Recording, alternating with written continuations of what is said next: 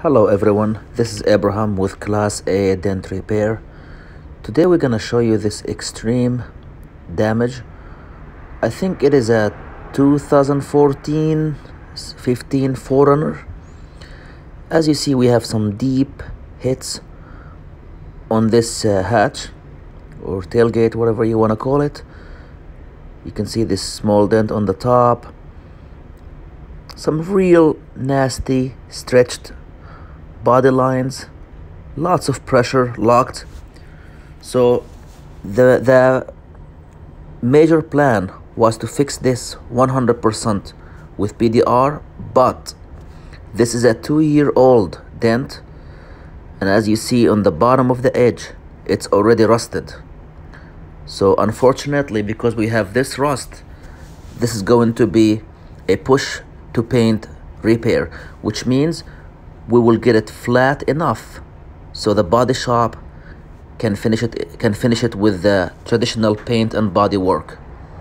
But I want to challenge myself to make it as perfect as possible. As you see we are showing you here some progress happening on this dent. You know it does look rough it does look wavy there's a lot of work to be done. This is part of it. This then took about six and a half hours of hard work to get it to this level we're gonna show you right now. I mean the dent does look clean, real nice. Is it 100% flawless? Absolutely not because that bottom edge is rusted so we can't push on it more which means there's gonna be some trapped pressure on the edge. And that will limit what the repair will look like. But as you see it does look like a mirror. Here's another view of it. No waves nothing left on this dent. But because uh, here's the one on the top.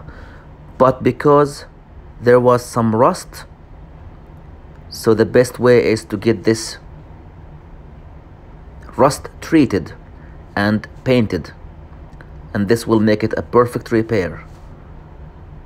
If you have any questions call or text 877 445 4245 class A dent repair.